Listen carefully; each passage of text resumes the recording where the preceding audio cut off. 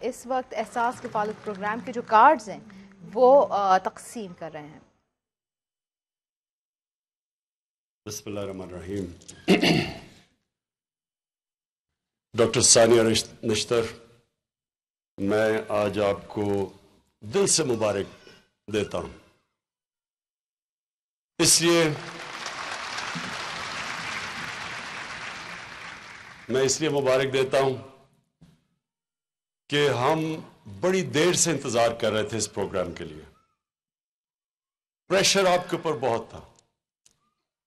کیونکہ لوگوں کے لیے مشکلات تھیں۔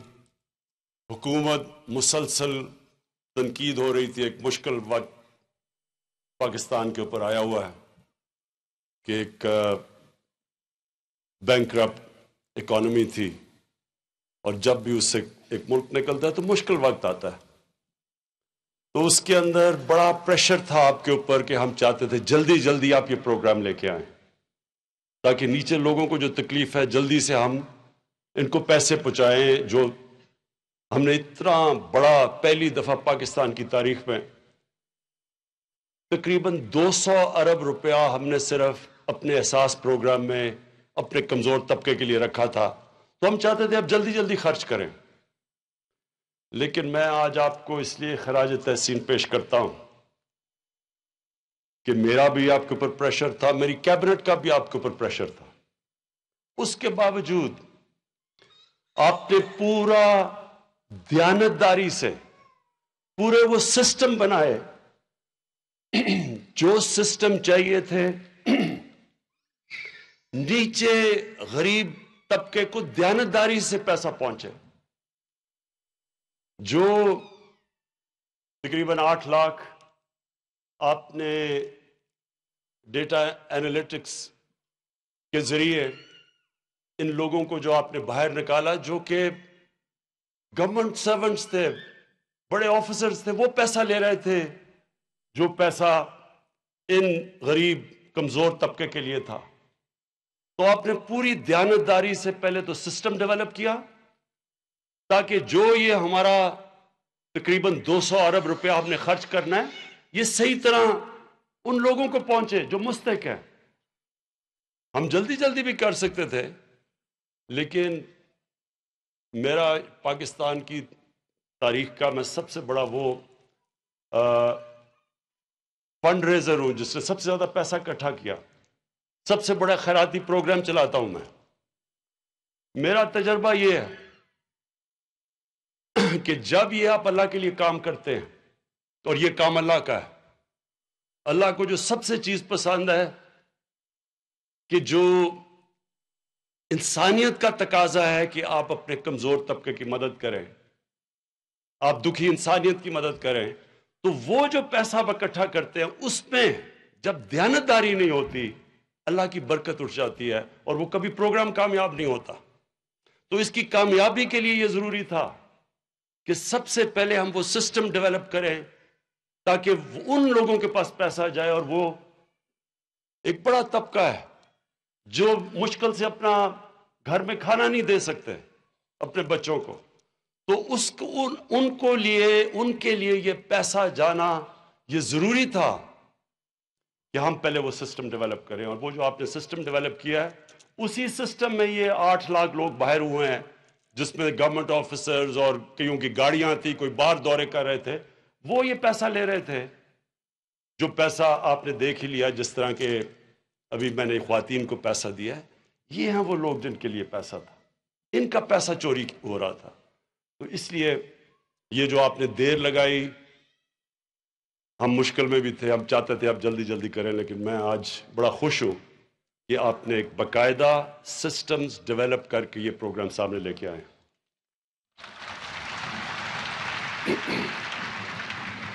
اس میں دو چیزیں جو خواتین کے لیے بڑی ضروری ہیں۔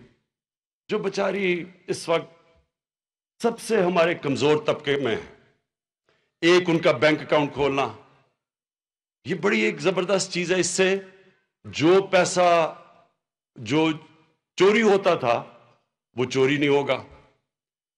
دوسری چیز جو آپ نے وہ جو اگلا جو کارڈ لے کے آ رہی ہیں، اس کے ذریعے یوٹیلیٹی سٹور سے بھی چیزیں لے سکتی ہیں۔ ہم یوٹیلیٹی سٹورز کے ذریعے چیزیں دے سکتے ہیں۔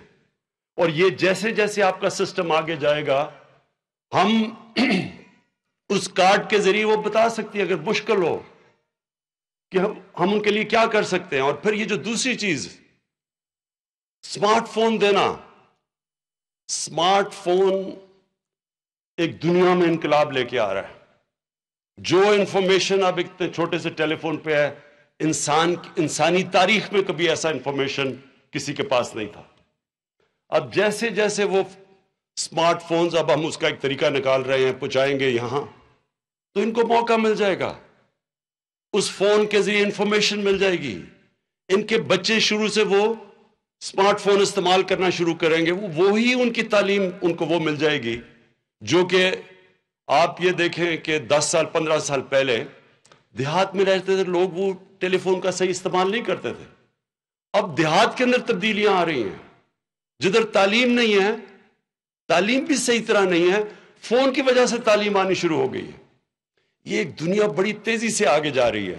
تو یہ بھی بڑا اچھا مجھے خوشی ہوئی کہ آپ نے یہ اسمارٹ فونز کا فیصلہ کیا، ہم یہ اس اپنے کمزور اس طبقے اس طبقے کی خواتین کو پہنچائیں گے اور انشاءاللہ یہ بھی ایک نیا انقلاب ہوگا۔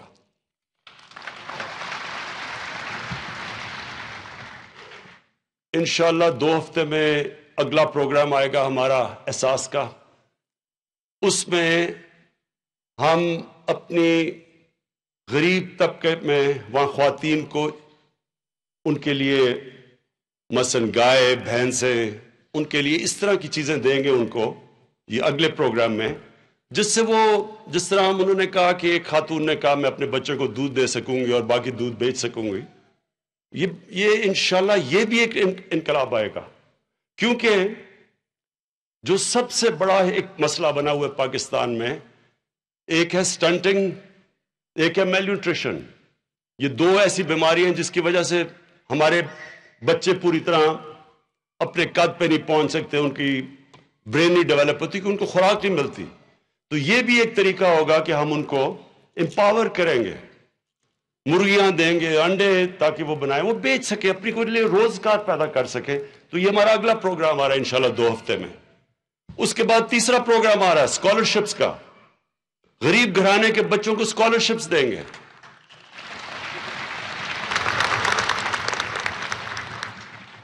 اور اس سب کا مقصد ایک ہے۔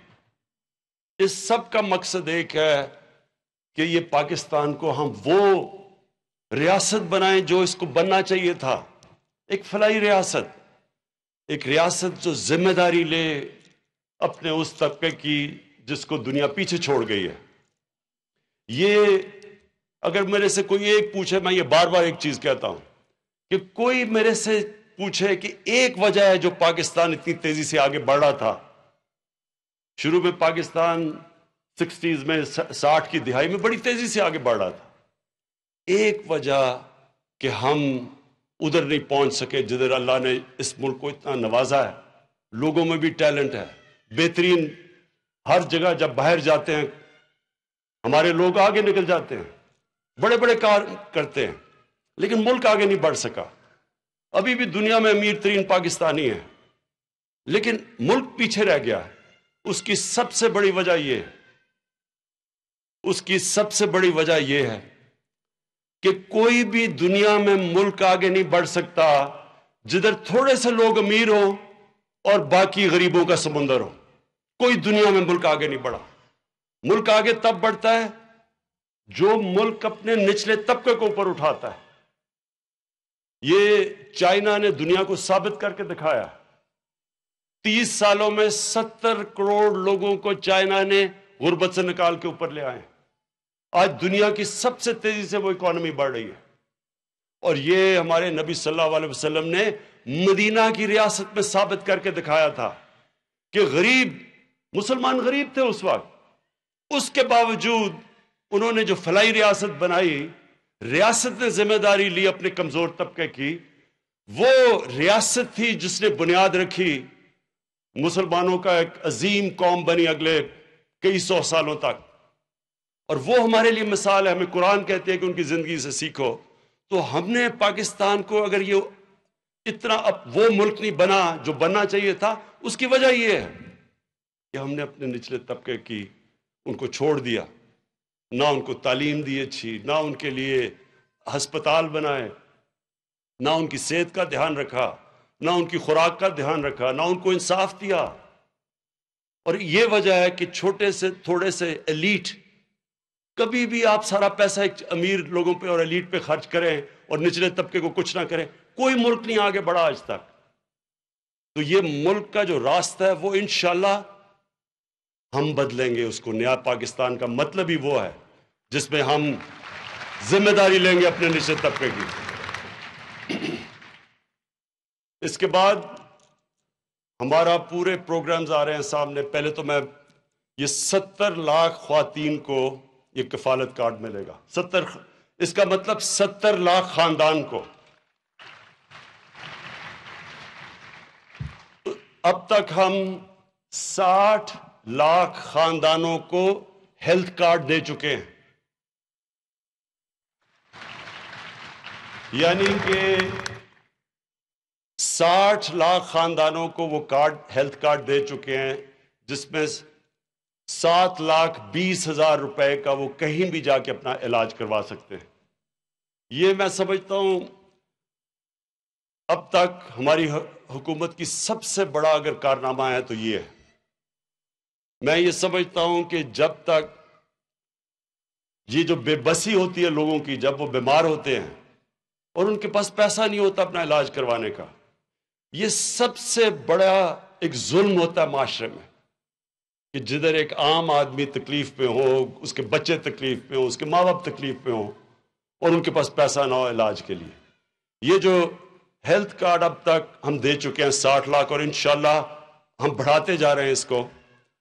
یہ سب میں سمجھتا ہوں اس حکومت نے سب سے بہترین کام کیا ہے۔ کیونکہ ایک غریب گھرانے میں جب بیماری ہوتی ہے وہ جو غریب گھرانہ اپنے بچوں کو مشکل سے ان کا پیٹ پال رہا ہوتا ہے، جیسی بیماری ہوتی ہے، وہ سارا گھرانہ غربت کی لکیر کے نیچے چلا جاتا ہے۔ ان کا سارا بجٹ ختم ہو جاتا ہے۔ تو ایک تو مجھے اس کی بڑی خوشی ہے۔ اس کے علاوہ، یہ جو ہم اب، ہم نے جو نوجوانوں کے لیے ہنر مند نوجوان پروگرام نکالا ہے، کہ ان کو ہم ٹریننگ دیں گے اور اس میں ہمارا پانچ لاکھ نوجوان ہیں۔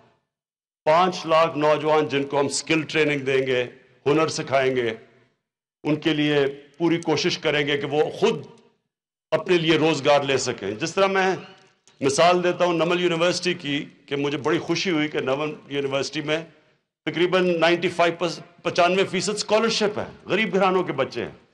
لیکن جیسی اس یونیورسٹی سے جیسی اس یونیورسٹی سے وہ گریجویٹ کرتے ہیں نوے فیصد سے اوپر کو سیدھی نوکریاں مل جاتی ہیں۔ اسی طرح اسی طرح جو ہمارا یہ ہنر مند نوجوان کا پروگرام ہے، وہ بھی یہی کوشش کرے گا کہ جلدی ان کو کورسز دیں، ہنر سیکھیں، ان کو نوکریاں ملیں۔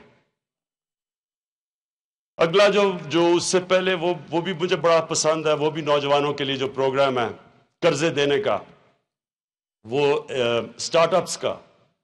یعنی نوجوان خود پروگرام بنائیں گے میرٹ کے اوپر فیصلے ہوں گے کہ ہم ہم کیا، کس طرح کی بزنس کرنا چاہتے ہیں۔ وہ نوجوان اپنی بزنس بتائیں گے ایویلیویٹ کریں گے بینک اور میرٹ کے اوپر جو بھی اچھا ایک اچھا آئیڈیا لے کے آئے گا، اس کو پھر قرضہ دیا جائے گا اور وہ اپنی بزنس شروع کرے گا۔ یہ بہترین اسمال اور میڈیم انڈسٹری کو اٹھانے کا یہ سب سے اچھا پروگرام ہے۔ اس کا بھی مت مقصد ہی یہ ہے کہ ہم ہم اپنے کمزور گھرانے کے نوجوانوں کو اوپر اٹھائیں۔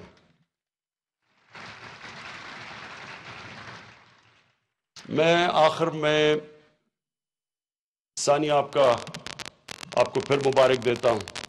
مجھے آج بڑی خوشی ہوئی ہے دیکھ کے کہ آپ نے فائنلی یہ پروگرام لے گا کچھ دیر کر کے لے کے آئیں کیونکہ ہمیں بڑا پریشر تھا کہ ہم کسی طرح مدد کریں، مشکل وقت میں اپنے اپنے کمزور طبقے کی، لیکن مجھے خوشی یہ ہے کہ آپ نے بڑا فل پروف پروگرام بنایا ہے۔ ایسا پروگرام بنایا ہے کہ اب اس سے آگے، جو آگے دنیا جا رہی ہے، ایک چیز سب سے بڑی چیز آ رہی ہے ڈیٹا یہ جو آپ ڈیٹا اکٹھا کر رہی ہیں، جو نئی نئی آپ سرویز کر رہی ہیں اور ایکوریٹ ڈیٹا لے کے آ رہی ہیں، اس سے ہمیں موقع مل جائے گا اور طریقے سے کہ ہم اپنے کمزور طبقے کی کیسے مدد کر سکتے ہیں۔ اور یہ ہے بنیاد رکھی جا رہی ہے ایک فلائی ریاست کی۔ اور یہ فلائی ریاست انشاءاللہ یہ جو فلائی ریاست کی طرف ہم اب جا رہے ہیں، یہ ہوگا وہ پاکستان جو قائد اعظم اور محمد علی، قائد اعظم محمد علی جناح اور علامہ اقبال کا پاکستان ہوگا۔ بہت شکریہ۔ وزیر اعظم عمران خان تقریب سے خطاب کر رہے تھے۔ ان کی جانب سے یہ کہا گیا کہ پاکستان کی تاریخ میں سب سے زیادہ پیسہ میں نے جمع کیا۔ کمزور طبقے کی مدد انسانیت کا تقاضا ہے۔ بڑا طبقہ ہے جو مشکل سے اپنے بچوں کو کھانا نہیں دے سکتا۔ بینک اکاؤنٹ کھولنے سے پیسہ چوری نہیں ہوگا۔ انہوں نے یہ بھی کہا کہ کارڈ کے ذریعے